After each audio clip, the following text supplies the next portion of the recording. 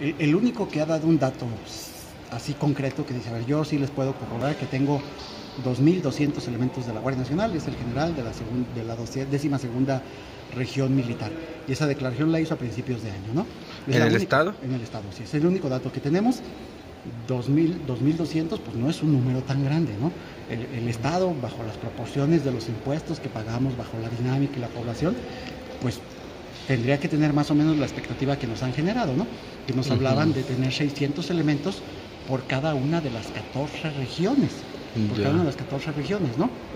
Que estamos hablando eh, en ese caso de, de, 24, de 8.400 8.400 elementos, que todavía estamos muy, muy lejos, o sea, estamos como a la cuarta parte de lo que tendría que haber.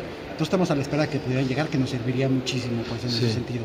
O que de verdad se le diera recursos a los municipios para fortalecer la seguridad pública. Sí, aumentó el Fortasec para algunos municipios, ¿verdad? Pero bueno, le quiero... La cantidad no aumentó, más bien aumentaron dos municipios. Y la distribución Que es Cortázar, cambió. que es Cortázar y...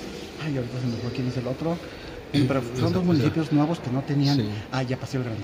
¿Y de, ¿Y de, la coordinación con autoridades federales, estatales, qué nos puede decir? Ver, ¿Es yo, algo yo, yo, en el tema, en el tema operativo yo sí veo a, a las corporaciones coordinadas, pues, o sea, veo que, que la inmensa mayoría de, lo, de, de los comandantes de las, de las zonas que tiene la Guardia Nacional tienen una enorme disposición y terminan coordinados. Eso es muy bueno pero pues hasta ahorita seguimos dependiendo de la buena voluntad de quien llegue como comandante, ¿no? Y aquí el tema pues, es institucionalizar bien bien la presencia de la Guardia Nacional, determinar los alcances, los mecanismos de operación, los ámbitos de competencia para que esto sea efectivo, ¿no?